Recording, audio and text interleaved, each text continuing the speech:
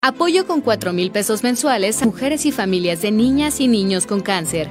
En Michoacán, las mujeres no están solas. Yo estoy recibiendo ahorita, gracias a Dios, apoyo por mi tratamiento del cáncer. A mis dos hijos también estoy recibiendo el apoyo de ellos. Fue una gran bendición, fue una alegría, como le digo, algo hermoso. Apoyamos a las mujeres michoacanas. Michoacán construye